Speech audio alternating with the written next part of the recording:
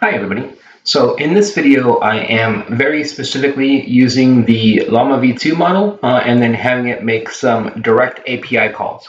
And I know there's software that exists such as like LangChain and LangFlow and other pieces of software that uh, can act as a middleware for this type of functionality. But for me it's important to understand how to do it um, like without any sort of middleware, uh, anything like that, how to just build it directly into the model to make API calls directly in the model. And it's not hard. So essentially, we have our Colab notebook here, um, and then have a few pip installs. Uh, these first two are for because we're quantizing the model. So uh, transformers uh, at optimum, and then auto GPTQ. And then we need transformers requests, which is how we're actually going to be doing the API calls. So this handles like all of the API requests itself.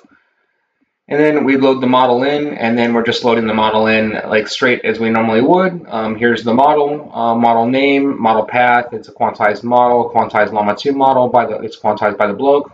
Uh, and then I give it an initial prompt, tell me about AI. Uh, a few system instructions that it's helpful, stay safe, um, and then make sure that it's not harmful, um, etc.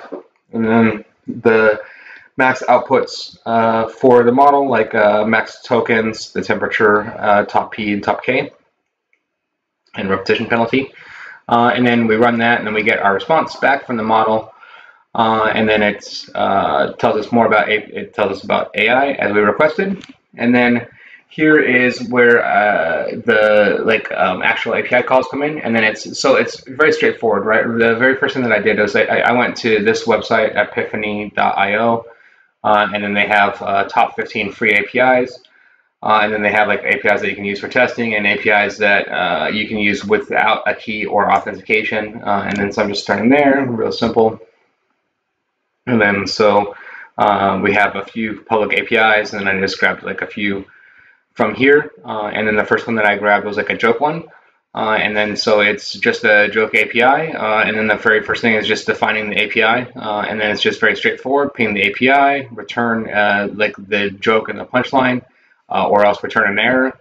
Uh, and then for the prompt, it's very straightforward, right? It's just um, if the essentially what this is is it's all of the model inputs so all of the inputs for the model telling the model what the model would need to do that same top p same number of max tokens etc um, uh, but then it's just telling it that if we include tell me a joke in all lowercase, uh, like this, tell me a joke, then it'll tell us a joke. it'll it'll ping the, this API. Uh, and I can do it right now in real time. It takes about, I think, 20 seconds or so for it to ping the API. That's quick. Uh, what, do you give a sip lemon, lemonade? Uh, it took three seconds in order to do that. So we could, you know, just do it again. what did the traffic light say to the car as it passed? Don't look, I'm changing. and then so uh, we can see it's actually pinging this API here uh, and then returning these requests. And then so another one of the um, APIs that it had was uh, for like random user, and this is a random user API. Uh, and then for this one, I, I have to tell it up front here. I'm just telling it to like when it gives us the information to format the data as a string. So uh, give us like first name, last name, gender, country, and email for the user that it makes up and then it's going to be making up these users, right? So it's like all made up data. Uh, and then this one takes about 21 seconds to run. We can see that we have our user here. I'm going to go ahead and, and run it. Um, and then, so again, all of the same uh, parameters for the model, the top P, top K, temperature, etc. Uh, and then that took about seven seconds this time, fantastic. And then we have our synthetic data or made up data if we wanted to. In this instance, Francisco Santiago, who is a male from Spain, and his email address is francisco.santiago at example.com. and uh, so just really straightforward. That's all that that does, uh, all that particular API does. Um, and then so in this next instance here, we have the, like it's this same same thing, right? I just copied and pasted um, this generate random user, but like rather than putting in like the the key for it to trigger the API, I want to just talk to the model, right? So I just say hello. And hello, my name is Sarah. I'm a software engineer. I've been working in the field for about five years now, and I've been lucky enough to get on a variety of projects. One thing I've noticed is it's good engineering, so it's just giving some output, right? like some uh, randomized output. Um, and I can just, you know, how are you today? Uh, and then if I do this, same thing, I'm going to get a randomized output because this whole time I'm utilizing the model, right? I'm doing well. Thank you for asking. It's always nice to connect with you. Would you like to chat about something specific or just enjoy some small talk? Uh, and then let's say um, generate random user. And then in this instance, rather than calling the model, it's gonna call, it's gonna make the API call, uh, and then we're gonna get the same output here. Bam, J Bassa, gender male, country Netherlands, and email address of J Bassa. Uh, and then so we can switch back and forth. If I give it the proper keyword commands, it's going to return back the uh, response from the API. If it's if I don't if I give it just a normal prompt as I would, it's going to operate as a normal LLM model.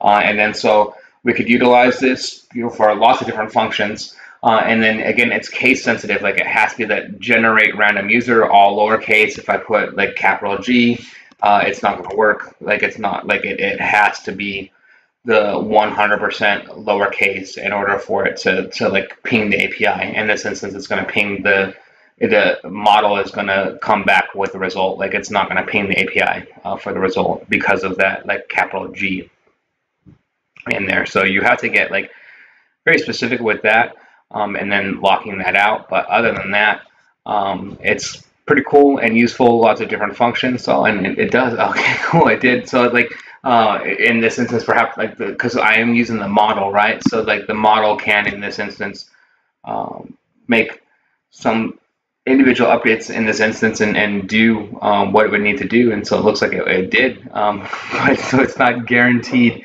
to work uh, unless we have the capital G in there. That's pretty cool. Um, but so overall, if you, uh, I'll leave the link to, into this particular Colab in the description if you want to play around with uh, Llama. And this is Google Colab, free Google Colab. Run, I, you have to run the T4, um, but um, free instance of Google Colab, and then any APIs that you want, um, and then you can pick the different APIs, and then you just have to build out your call depending on if you need to uh, build out anything like to, to actually handle the call itself. But other than that, just uh, you can run and access any sort of APIs that you want directly using the Llama model. Uh, and then so it's really cool, right? You can talk to the model or say, hey, tell me a joke. and then at any time, it's going to uh, ping that API uh, and then tell you the joke rather than like having the model come up with a joke. So pretty cool. Uh, if you like this type of content, please like and subscribe. Thank you very much.